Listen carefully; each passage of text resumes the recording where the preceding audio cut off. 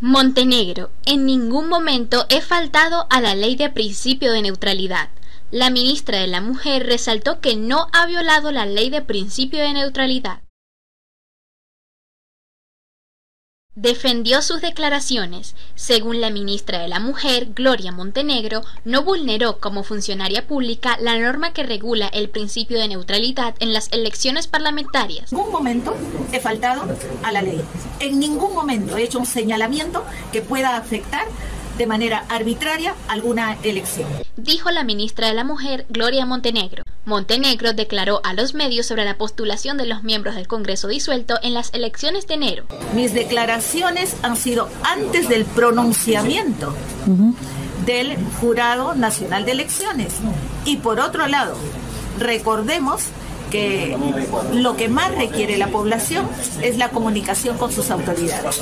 Indicó. El Jurado Electoral Especial de Lima, Centro 1, inició un proceso al jefe de gabinete, Vicente Ceballos, y a la ministra Gloria Montenegro por presunta infracción a la norma que regula la neutralidad de los funcionarios durante un proceso electoral. Las autoridades tienen tres días para presentar sus descargos. La ministra de la Mujer inauguró en la región San Martín dos centros de emergencia mujer en Picota y Tabaloso.